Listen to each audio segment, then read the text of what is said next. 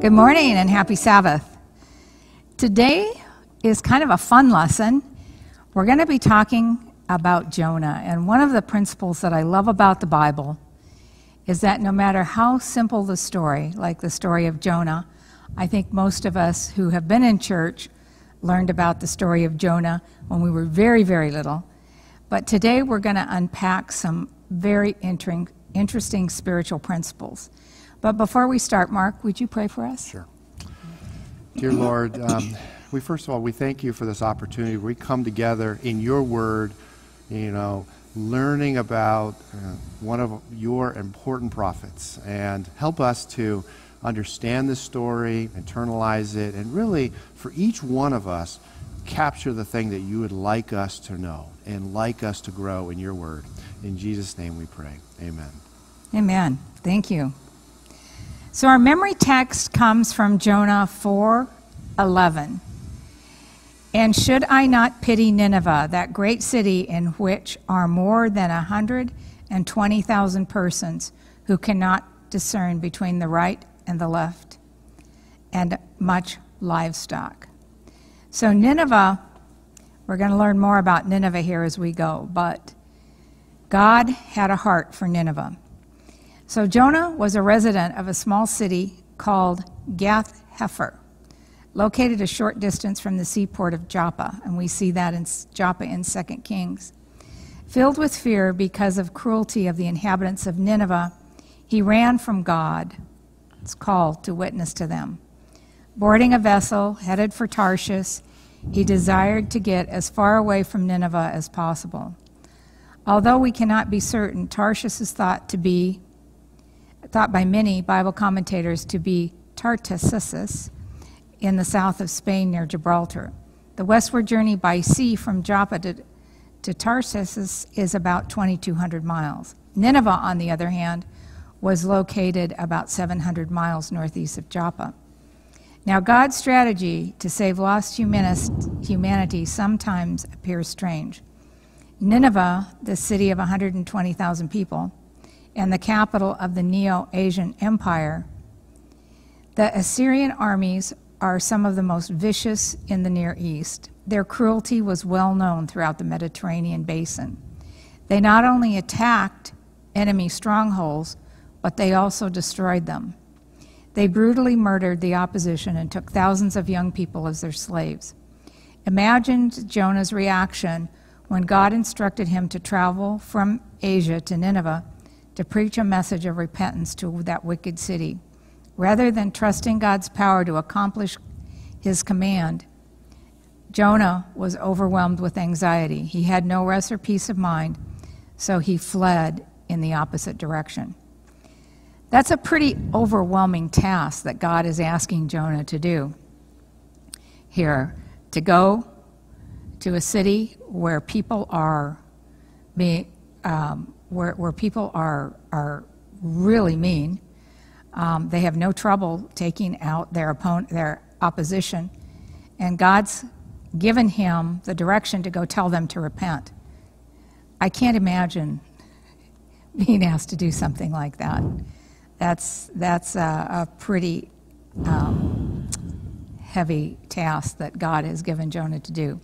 One of the remarkable things about this story is God's heartfelt desire for the inhabitants of Nineveh. God is passionate about saving lost people.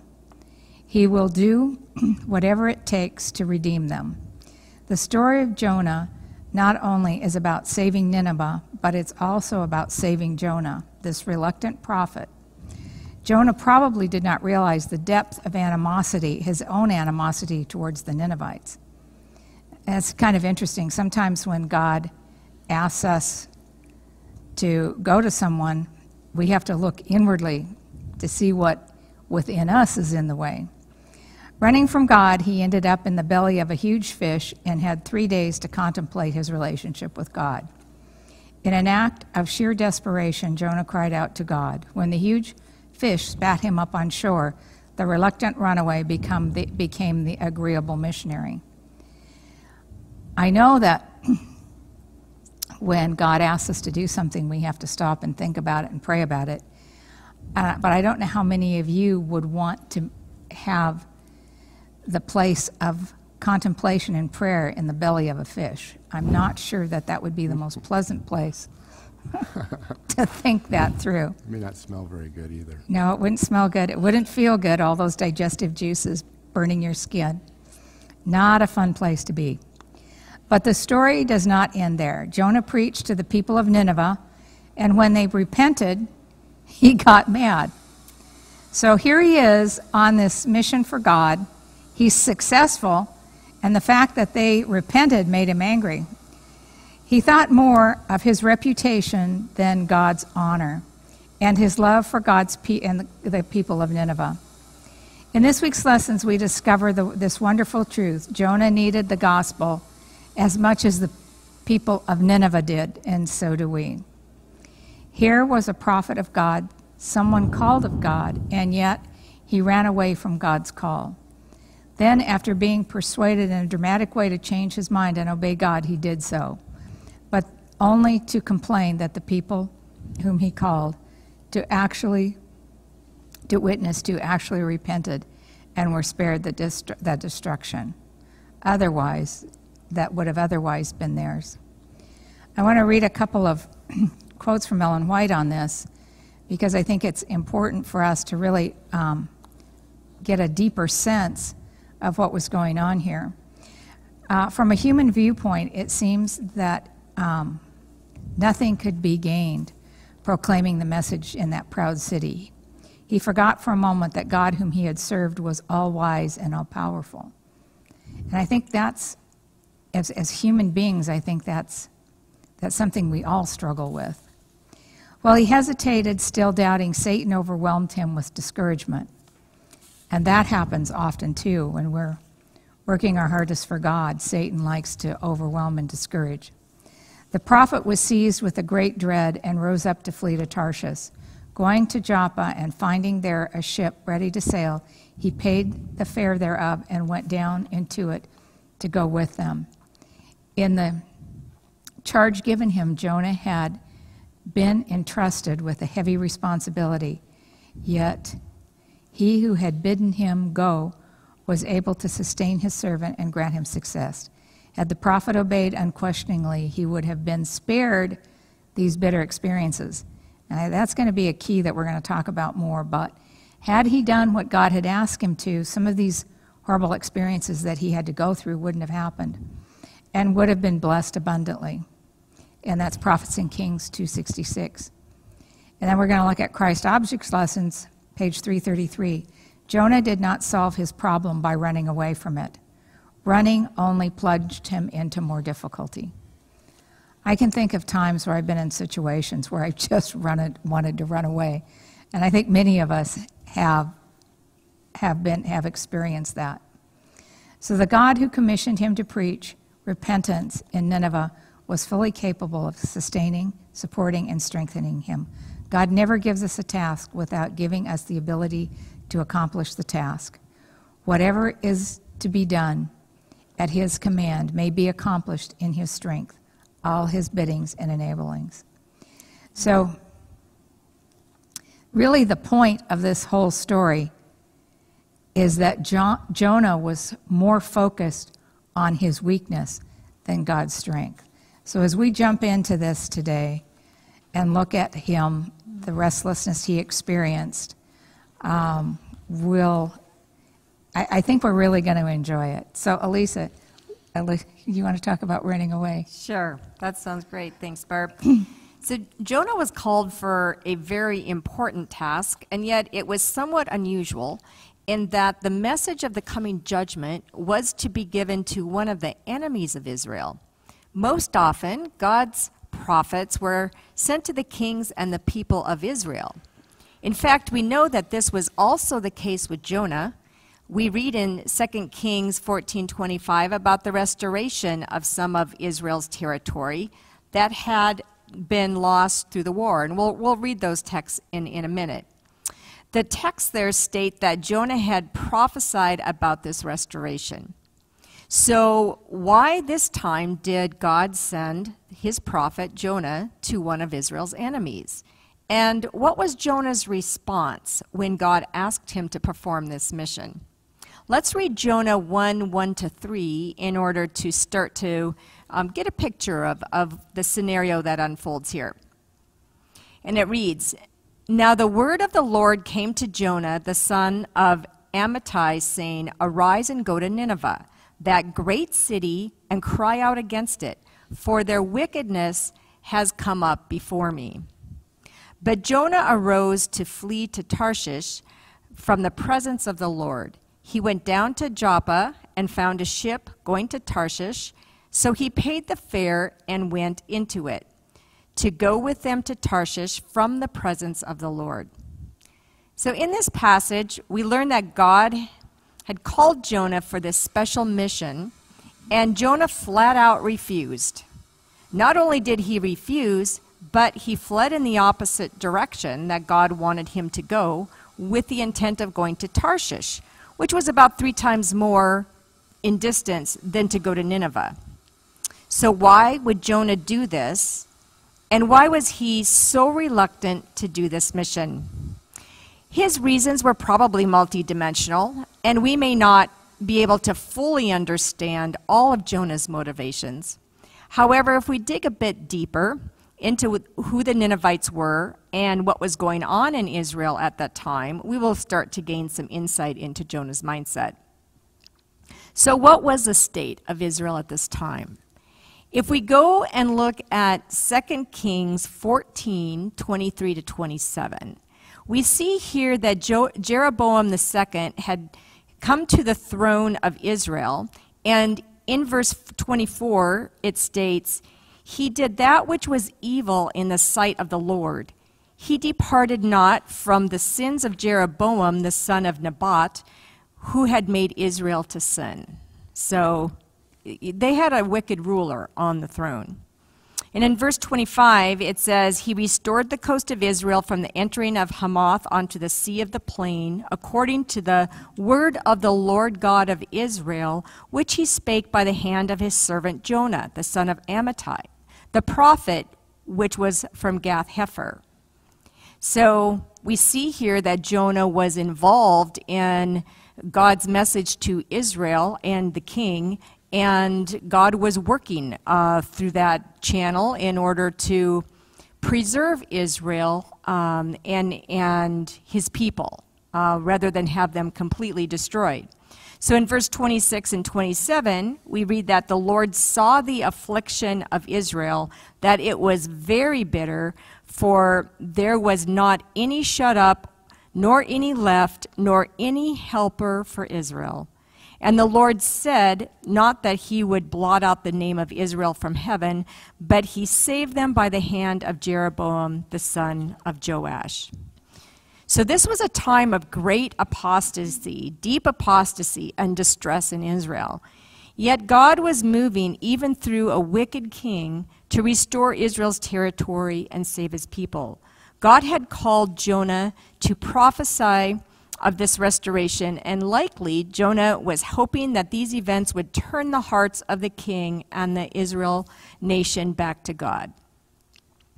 So, who were the Ninevites? Um, so, Ellen White in Prophets and Kings writes that among the cities of the ancient world in the days of divided Israel, one of the greatest was Nineveh, the capital of the Assyrian realm. Founded on the fertile bank of the Tigris soon after the dispersion from the Tower of Babel, it had flourished through the centuries until it became ex an exceedingly great city of three days' journey.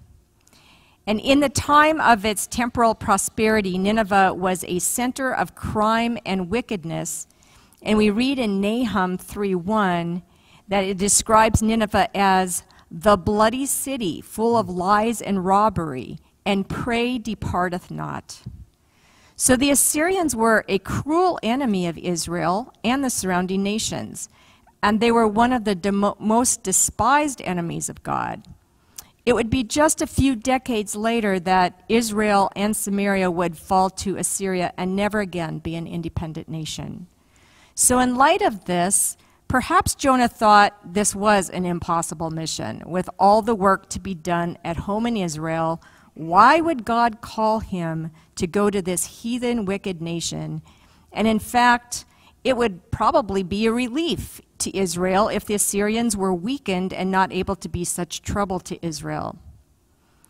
Well, let's read the rest of Jonah chapter 1 and see what happens to Jonah after he fled um, and so, starting with verse 4, we read But the Lord sent out a great wind on the sea, and there was a mighty tempest on the sea, so that the ship was about to be broken up. Then the mariners were afraid, and every man tried, cried out to his God and threw the cargo that was in the ship into the sea to lighten the load. But Jonah had gone down into the lowest parts of the ship, had lain down, and was fast asleep. So the captain came to him and said to him, What do you mean, sleeper? Arise, call on your God. Perhaps your God will consider us, so that we may not perish. And they said to one another, Come, let us cast lots, that we may know for whose cause this trouble has come upon us. So they cast lots, and the lot fell to Jonah. Then they said to him, Please tell us, for whose cause is this trouble upon us? What is your occupation? And where do you come from? And what is your country?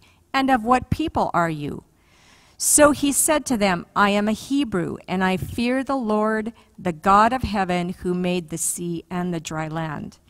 Then the men were exceedingly afraid and said to him, why have you done this? For the men knew that he fled from the presence of the Lord because he had told them. Then they said to him, What shall we do to you, that the sea may be calm for us? For the sea was growing more tempestuous. And he said to them, Pick me up and throw me into the sea. Then the sea will become calm for you. For I know that this great tempest is because of me. Nevertheless, the men rowed hard to return to land, but they could not, for the sea continued to grow more tempestuous against them.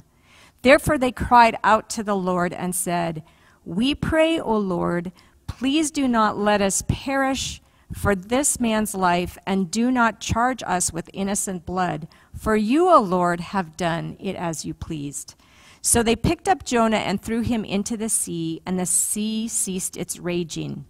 Then the men feared the Lord exceedingly and offered a sacrifice to the Lord and took vows.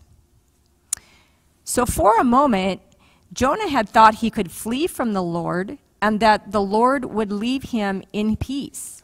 However, the Lord will always see that his purpose is done on earth and it was his purpose that Nineveh should receive this warning of coming judgment, and that Noah would be the prophet to deliver this message.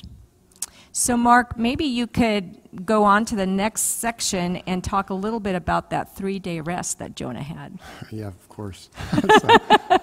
so, I mean, and you guys know the story, of course. Um, they threw him into the sea, and, the, and, and, and Jonah 1, verse 17, the fish comes and, and gobbles him up. And I would say that being eaten by the fish was actually a good thing for Jonah.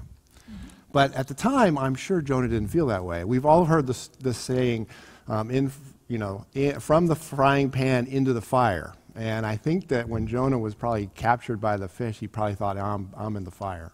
But he soon realized that this was not the case. And we're going to learn about the prayer that he ultimately gave to, that we talked about, that he gave to God, and learn that he realized, or through that you see that God saves us by grace. We can always count on the Lord in tough spots, and he needed to count on the Lord, and that God asks us to pray to him always. So let's go through this. What I would want to read is I want to read the, the, the, the uh, we'll go through the prayer that Jonah gave to the Lord at this point when he's inside the fish and realizes that he's not going to die um, yet. And let's, then we're going to dig into the details of this prayer. Okay? And I'm, so I'm going to go to Jonah 2, verses 1 through 9, and let's read, let's read this together. Then Jonah prayed to the Lord his God from the fish's belly, and he said, I cried out to the Lord because of my affliction, and he answered me. Out of the belly of Sheol I cried, and you heard my voice. For you cast me into the deep, into the heart of the seas, and the floods surround me. All your billows and your waves passed over me. And then I said, I have cast out of your sight, yet I will look again towards your holy temple. The water surrounded me, even to my soul. The deep closed around me. The weeds were wrapped around my head. I went down to the moorings of the mountains. The earth and its bars closed behind me forever. Yet you brought me up to life from the pit, O Lord my God. When my soul fainted within me, I remembered the Lord, and my prayer went up to you, into your temple. And those who regard worthless idols forsake their own mercy. But I will sacrifice to you with the voice of thanksgiving. I will pray what I have vowed. Salvation is of the Lord. So a good prayer. And I think that of, of the things that Jonah did, he didn't remember he didn't forget to pray to God. We're going to read what we what we what are some of the key items that come from this prayer. The first one that we that I think we see in this prayer is that Jonah knows. And I think what we can learn from this is that when pray when we pray, we realize that God hears us. Now it's not evident that way to think about it, but you know, we often pray so that God can help us. But what Jonah realizes, and we can re- let's read at Jonah verses 2, verses 2 again, and recite that, what I just said. Right away, he says, And I said, and he said, I cried out to the Lord because of my affliction, and he answered me. Out of the belly of Sheol I cried, and you heard my voice. Now, th- there's no text around about, you know, how exactly God did it. And I think that at this point, Jonah realized by coming to prayer, he's knowing that God is listening to him and he's attentive there. And he also probably realized at this point that he is saved. He was going to be drowning in the sea. You know, there's a storm around. This fish gobbled him up. And he was, okay, he's inside the belly of a fish, but he's not dead yet. At this point in the story, Jonah realizes he's not on fire. It's not the fire. And he's at least been saved partially by God. Okay? When we are at our wits' end, what does God want us to do? He wants us to come to Him in prayer.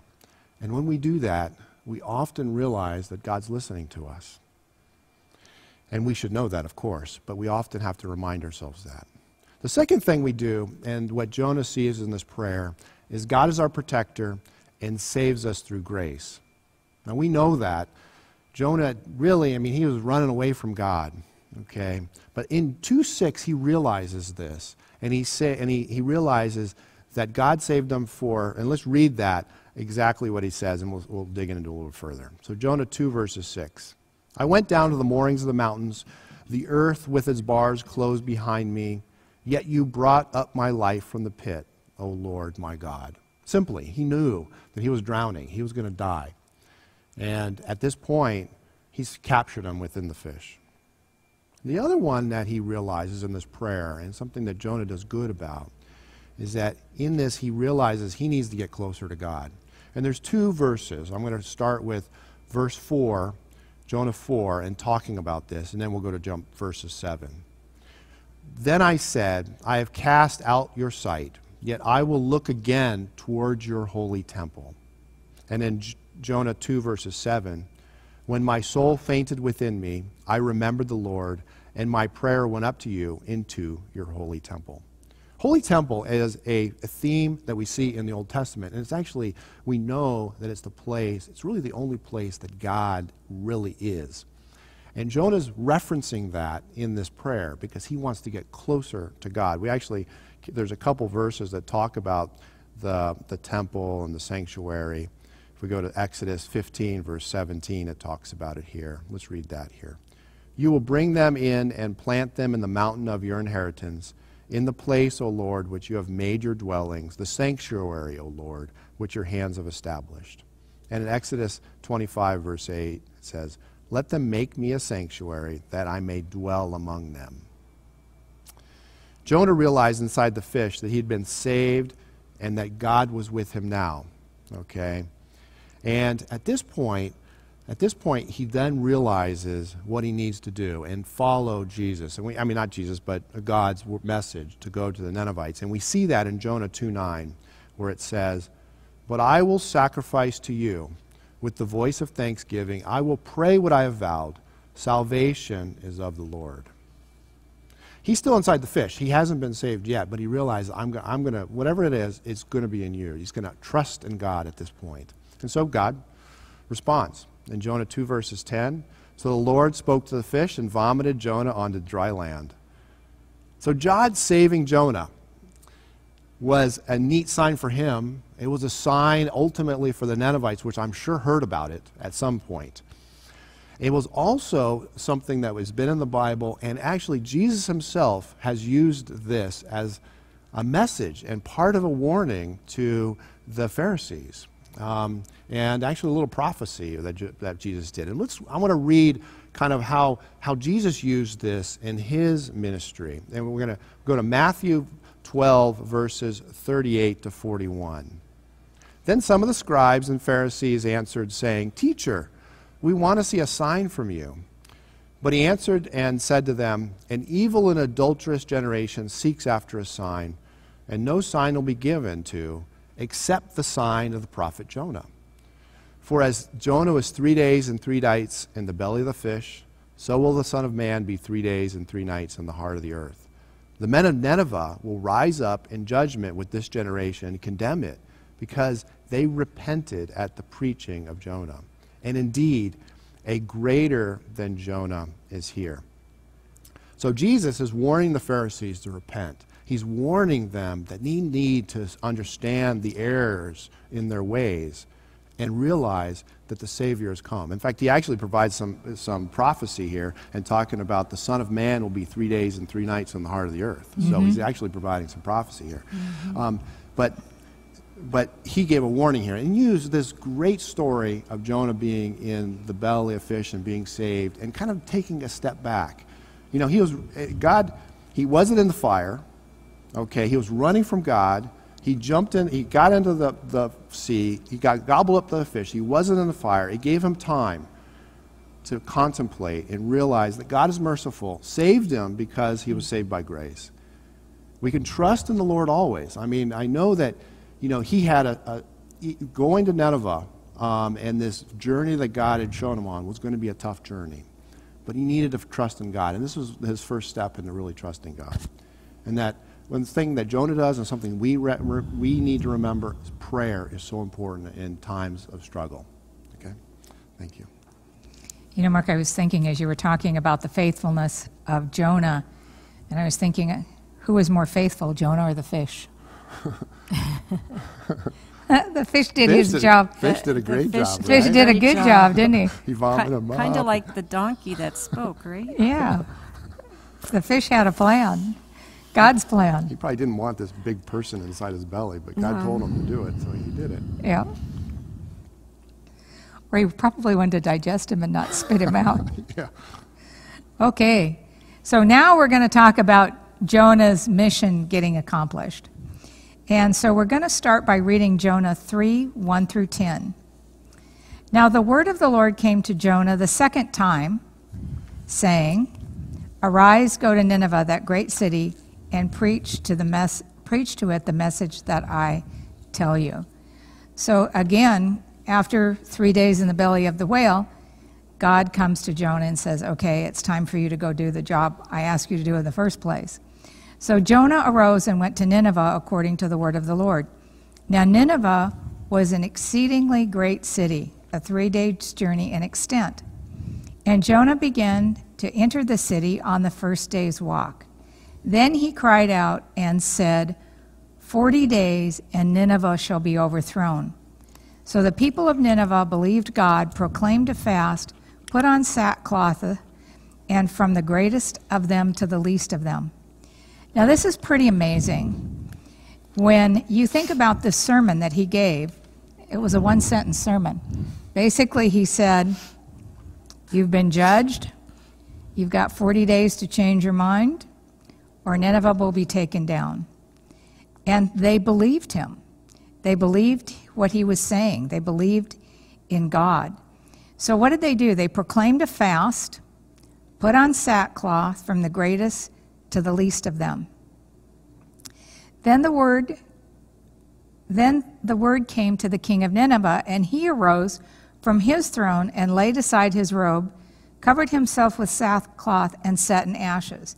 And he caused it to be proclaimed by publishing throughout Nineveh by the decree of the king and his nobles, saying, Let neither man nor beast, herd nor flock taste anything. Do not let them eat or drink water, but let man and beast be covered with sackcloth and cry mightily to God. Yes, let everyone turn from his evil way and from the violence that is in his hands. So, this is a pretty interesting and, and a pretty severe um, change, if you will. Um, they didn't eat, they didn't drink, they sat in sackcloth and ashes. Now, many of us have sinned. In fact, all have, according to the Bible. But how many of us proclaim a fast, put on sackcloth and ashes when we ask for repentance? I just want you to think about that. but if you look at this, um, if you look at this concept of sackcloth and ashes, and I've thought about this many times over the years whenever I, I start reading this. And there's several other places in the Bible where they talk about putting on sackcloth. Remember King Hezekiah in Isaiah, Eliakim in 2 Kings, King Ahab in 1 Kings, even the elders of Jerusalem in Lamentations when they had to turn when they decided to turn back to God when they had sinned. And then Daniel, Daniel 9 3. And that that um, prayer of Daniel in Daniel 9, if you've never read it, I suggest you do. We, we often do that when we're praying for the church. But when he was praying for the children of Israel, he had um, fasted and put on sackcloth and ashes. And then again, the two witnesses in Revelation. So, very simply, sackcloth and ashes are used as an outward sign of one in, one's inward condition. Now, sackcloth is not a very comfortable garment to be wearing. It is stiff, it is itchy, and so it really puts you in an uncomfortable state. And the ashes are just a, symbol of complete giving up, complete destruction. A symbol made one's heart visible and demonstrated the sincerity of one's grief or repentance. It was not the act of putting on the sackcloth and ashes itself that moved God to intervene, but the humility that such an action demonstrated. so, in doing this, they were truly humbling themselves before God and letting Him know that they were truly sincere in what they were doing. So I want to continue in verse 9. Who can tell if God will turn and relent and turn away uh, from his fierce anger so that we may not perish? Then God saw their works, and they turned from their evil way, and God relented from the disaster that he had said he would bring upon them, and he did not do it. While walking the city, Jonah proclaimed God's message. Yet 40 days, Nineveh will be overthrown. This message was right to the point. Though the details are not given, it becomes clear that the message fell on receptive ears, and the people of Nineveh collectively believed in um, the warning. So, another interesting piece that um, about this scripture is they even included the animals in their in their um, sackcloth and ashes. They put sackcloth on all the animals. So, um, so even the animals were to be fasting and mourning. And we don't know why, but that's what they did. So the king stepped down from his throne. He took a submissive position. And we've already talked about the, the ashes and that, the symbol that it brings. So when we look at our lives, repentance is critical in establishing or reestablishing our walk with God. Let's look at some key scriptures here. Jeremiah 25 5. They said, Repent now, everyone, of his evil way and his evil doings, and dwell in the land that God has given to you and your fathers forever and ever. Ezekiel 14:6. Therefore say to the house of Israel, thus says the Lord God, repent, turn away from your idols, and turn your face away from all your abominations. And Revelation 2:5. Remember therefore from where you have fallen, repent and do the first works, or else I will come quickly and remove your lampstand from its place, unless you repent. So repentance we see is, is an important aspect of establishing a relationship with Christ. And we see it in the Old Testament, we see it in the New, New Testament. I, I love Jonah's sermon. I want to say that again because it was short and to the point, but filled with theological regarding theology regarding true, true repentance.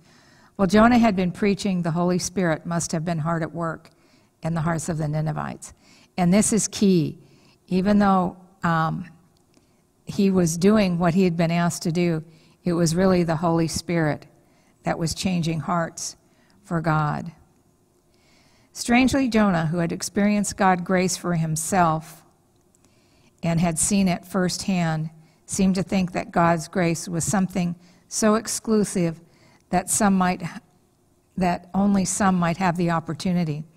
So we see that he was upset with the city and he was upset that that they converted and uh, so upset. We're going to talk about that a little bit later, but we're going to see that um, that upset he he had he had to work through that as well um, as his, his humiliation.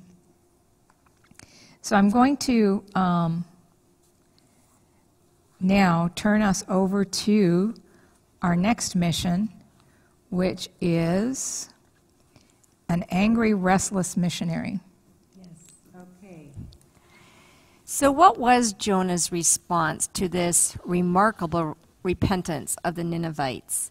Let's read Jonah chapter 4, verses 1 to 3 to see what, it, what his response was. And it reads But it displeased Jonah exceedingly, and he became angry. So he prayed to the Lord and said, Ah, Lord, was not this what I said when I was still in my own country? Therefore I fled previously to Tarshish for I know that you are a gracious and merciful God, slow to anger and abundant in loving kindness, one who relents from doing harm. Therefore, now, O Lord, please take my life from me, for it is better for me to die than to live. So the Bible shows here that Jonah was very displeased and angry that God did not execute the judgment that he had proclaimed. And in verse 2, it gives us a little bit more insight into Jonah's mindset and why he was so reluctant to perform this mission in the first place. Jonah knew that God was gracious and merciful, slow to anger, and abundant in loving kindness. Jonah had been afraid that God would relent and that he would look like a false prophet. So his pride got in the way of his obedience to God's command and was now wounded. He was so despondent that in verse 3 we read that he cries out to God that to take his life. He no longer wants to live. Um, in Patriarchs and Prophet, Ellen White writes, when Jonah learned of God's purpose to spare the city, that notwithstanding its wickedness, had been led to repent in sackcloth and ashes, he should have been the first to rejoice because of God's amazing grace, but instead he allowed his mind to dwell upon the possibility of his being regarded as a false prophet. Jealous of his reputation, he lost sight of the infinitely greater value of the souls in that wretched city. God is very gracious in his love for Jonah. And in, in the rest of the chapter, we see in verse 4 that the Lord questions Jonah and says, Is it right for you to be angry? And then as Jonah goes out and sits on a hill and waits to see what's going to happen, God intervenes and causes these things to happen to get Jonah's attention. So, first of all, God prepares this plant that grows up very quickly and becomes a shade on this hot day for Jonah. And Jonah is very grateful for this plant and, and, and you know, thinking about how gracious it was that, that he had this plant from God. But then the very next morning, God prepared a worm so that it damaged the plant and it withered away and died. And then in, in verse 8, we see that the sun arose and it was very, very hot. And Jonah is wishing for death again because it is so hot and he's so uncomfortable. And he says, It is better for me to die than to live. So, so Jonah is having this a little bit of an emotional roller coaster um, through, through this time. But the Lord comes back to him to question him again in verse 10 and 11 and really drives the point home here for Jonah. He says, You have had pity on the plant for which you did not labor, nor made it to grow, which came up in the night and perished in the um, night. And should I not have pity on Nineveh, that great city, in which are more than 120,000 persons who cannot discern between their right and their left, and much livestock? So, God, in His graciousness, He shows a lot of patience towards Jonah in how He questioned him and brought about these circumstances. Um, you know, to illustrate that He had that same care for the Ninevites. And throughout this mission, God had been working with Jonah to change his prejudices and his mindset toward the Ninevites, to bring it around to how God viewed them with love and compassion. A great city that didn't know right from wrong, and for whom in the future Jesus would die that they may be saved. Let's look, before we leave this topic, let's look at one more story where Jesus addressed a similar attitude in his disciples. Let's take a look at Luke chapter 9, verses 51 to 56. And it reads Now it came to pass when the time had come for him to be received up that he steadfastly set his face towards Jerusalem and sent messengers before his face and as they went, they entered a village of the Samaritans to prepare for him. But they did not receive him because his face was set for the journey to Jerusalem. And when his disciples, James and John, saw that, they said, Lord, do you want us to command this fire to come down from heaven and consume them like Elijah did? But he turned and rebuked them and said, You do not know of what spirit you are of for the Son of Man did not come to destroy men's lives, but to save them. And they went to another village. So Jesus was trying to impress on his disciples that the kingdom is not, of his kingdom is not like the kingdoms of earth.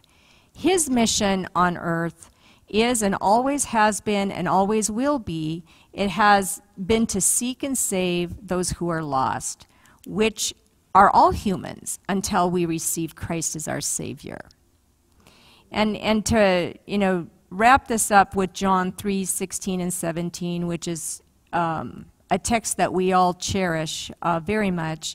It says, For God so loved the world that he gave his only begotten Son, that whoever believes in him should not perish but have everlasting life. For God did not send his Son into the world to condemn the world but that the world through him might be saved. So, this, this story leaves a good lesson for us to look at our own attitudes, our own mindset. You know, we, we get comfortable perhaps with the knowledge we have of the Bible and, and the truth. And, you know, God looks at every person's heart and he wants everyone to be saved. And it is not our place to judge what's in someone's heart. Only God sees that. But we are to bring the mission. We are to bring that clear and, and um, faithful truth and testimony. Um, and so that's something for us to remember.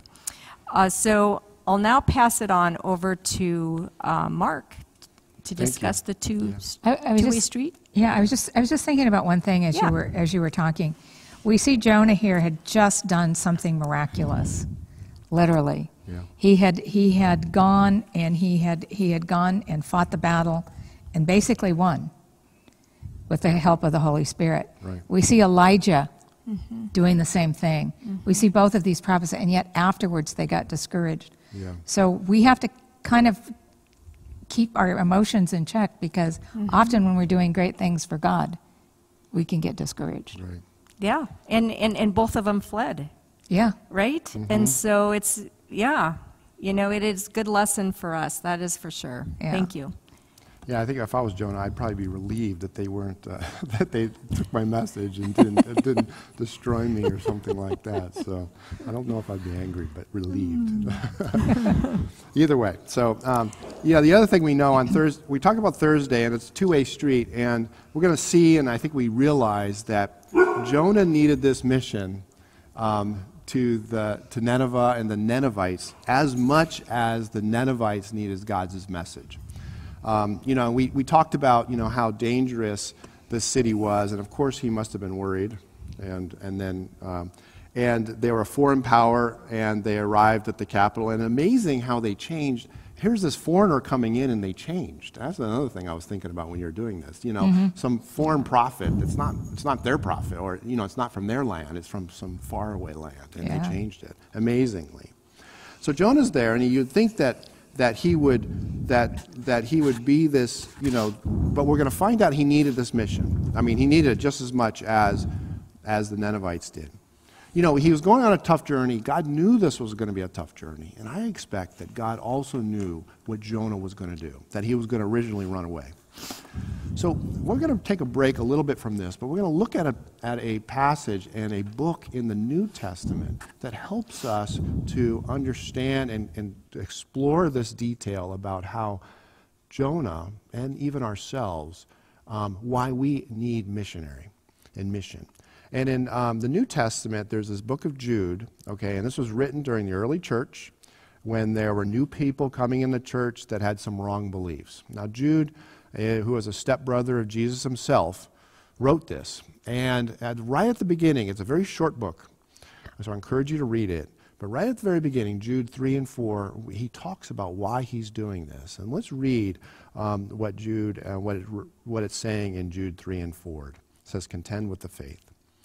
Beloved, while I was very diligent to write to you concerning our common salvation, I found it necessary to write to you, ex- exhorting you to contend earnestly for the faith which was once for all delivered to the saints. For certain men have crept in unnoticed, who long ago were marked out for this condemnation, ungodly men, who turn the grace of our God into lewdness and deny the, the, only Lord God and our Lord Jesus Christ. So he's warning these early Christians about people coming in that don't have the right beliefs. Um, and Jude talks, and then he talks a lot about this in the rest of Jude. But in 21, he says, This is how you solve it. Okay, and it's a very simple solution. Jude 21, he says, Keep yourself in the love of God, looking for the mercy of our Lord Jesus Christ unto, unto eternal life. So that's a simple message. But it's a complicated question. How do we keep ourselves in the love of God? So, what I wanted to do is explore um, this passage, which we'll see has a lot of parallels to what Jonah is doing and, and what God is doing. But we're going to see what, when in Jonah's journey, was he keeping himself in the love of the Lord? So let's give some examples right up front. Um, he's definitely not doing that when he's in the boat sleeping, when the storm is going on. Okay, I would say that he's probably depressed and exhausted down there. I would say that he's probably not there when he was thrown when he's asked to be thrown overboard because he could have just simply turned to the Lord, I think, at that point and said, God, I know I'm wrong, just you know, whatever you want me to do, and I think the storm would have closed. Uh, he probably wasn't there when the fish saved him in the ocean. However, he was there when he's praying to the Lord. So Jonah 2 9, we know where he says, I will sacrifice to you with the voice of thanksgiving. I will pay what I have vowed. Salvation is of the Lord. So he's definitely doing that. He was within God's love when God speaks to him again to go to, Nineveh, to Nineveh, and he follows, and he answers this time. And of course, he was there when he preached to the Ninevites, this simple sermon, this very powerful sermon that got them to change their ways. Then again, I would say he wasn't in the love of God when he was angry and he kind of went away from the city, right? So in Jude 20, and I'm going to jump back to, so what things were he doing? And we, we can see that thing. And what we're going to say is in Jude 20 and 23, he will say very much the same thing that Nineveh, in order to stay into this love of Jesus and, and, and God. And let's read all of Jude 20 to 23. But you, beloved, building yourselves up in the most holy faith, praying to the Holy Spirit, keep yourselves in the love of God, looking for the mercy of our Lord Jesus Christ until eternal life. I just I said that. And on some have compassion, making a distinction, but others save with fear, pulling them out of the fire, hating even the garments defiled by the flesh. So, what does this mean? Basically, says, always, in order to stay in the love of God, you need to pray. This is what Jonah did in the, in the belly of the fish. But he also says you need to be looking to pull people out that are out of the fire, people that are not believing the right things, that are off the subject, that are doing it wrong. Now, in Jude, he is being, he's being careful. He says, do it carefully. You know, do it with fear, okay? Um, and also, he also says, hate even the garments defiled by the flesh, which means that these people have, are wearing beliefs that are incorrect. And he, does, he wants to make sure that you don't, as someone that will be helping them to see the real message, that you don't get, you don't get caught up in those beliefs. So Jude was doing this. I mean, Jonah did the same thing with the Ninevites. He was praying the right things when he was with Lord. He was praying. He went to Nineveh. He was a missionary. So that's what God and what the saying here. Not only do we need to pray, but we need to minister, looking for those that need our support, saving them, pulling out of the fire. Okay? For Jonah, this was when he was praying and being with, uh, on a mission trip. So that was well, what I had on Thursday. Lisa, do you have any final thoughts?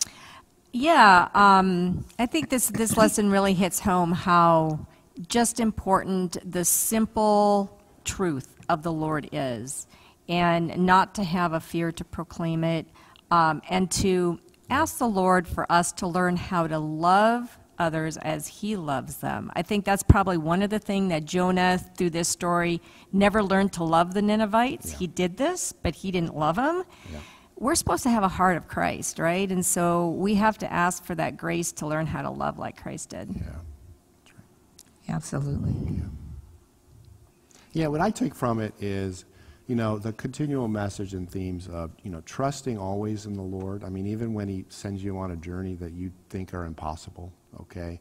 Um, when you come across those things, praying to Him. Um, none, uh, Jonah was able to pray in the belly of the fish. And then, and then this neat idea of ministering to others um, and how that's so important for not only the people that are going to be that hope that God will help us to be saved through His message, but also also ourselves too. So that was a neat for me. Uh, you know, another just a kind of a reaffirmation of, of those beliefs that we know about. So I had four thoughts. I actually had about four ideas when I, I was looking at this. I always, I always think about this. And I like to try to bring it back for the, for the end of the, um, the lesson. How does, this, how does this apply to us? And I appreciate that both of you have done that. But as, as we look at the story of Jonah, I thought about the, the importance of heeding God's call. When God asks us to do something, it's important that we are willing. That submission that comes from being willing to, to go and do what God asks. So when He says go, we just need to go um, and not worry about the particulars, but just go when He asks us to do something. So the other th- other thing that I got from this is when He sends us on our journey, He equips us and sustains us. And He did that for Jonah. Mm-hmm. I mean, he, to, he sustained Jonah in the belly of the whale for three days. That's, that's usually three days in the belly of an animal, you would be completely digested and gone. So we see God will sustain us in our journeys. And then we always have to remember that um, the Holy Spirit goes with us. And when I talk about sustaining, that, that is a, a, a, a large piece of what the Holy Spirit's work is. And then remember that He is greater than our weaknesses. And He always, always, always has a plan before we even ask as to how He's going to help us through whatever difficulties and struggles we're having when we're doing His work. So um, I want to read to you from Christ Ob- Objects Lesson 231 and 232. The success of the gospel message does not depend upon learned speeches, eloquent testimonies, and deep arguments. It depends upon the simplicity of the message and its adaptation to the souls that are hungering for the bread of life.